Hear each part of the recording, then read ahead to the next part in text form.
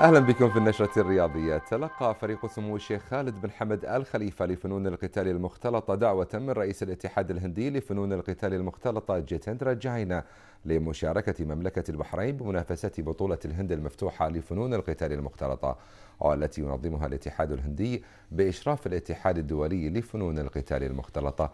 خلال الفترة من الثامن وحتى العاشر من يناير الجاري بمشاركة مقاتلين من دول مختلفة. وعليه وجه سمو الشيخ خالد بن حمد الخليفة فريق خالد بن حمد لفنون القتال المختلطة للهواء للمشاركة في هذه البطولة.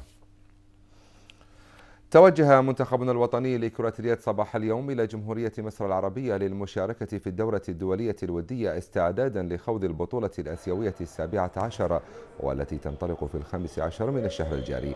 وتستمر حتى نهاية الشهر والمؤهلة لنهائيات كأس العالم بفرنسا 2017 حيث تعتبر الدورة الودية المرحلة الأخيرة للأحمر البحريني في إطار استعداده للبطولة الأسيوية. وذلك بعد الانتهاء من المعسكر التدريبي الذي أقامه مؤخرا في صربيا ولعب خلاله ثلاث مباريات تجريبية مع الفرق الصربية.